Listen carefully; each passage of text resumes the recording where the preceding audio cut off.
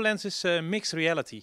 Uh, mixed reality is eigenlijk een combinatie tussen de echte fysieke wereld met fysieke voorwerpen die wij als mensen kunnen zien. En daarover wordt eigenlijk een virtuele laag overheen gelegd. Google Glass was eigenlijk de eerste, de eerste variant. Dat was vooral het werkelijke beeld wat je zag waarbij ja, notificaties getoond konden worden.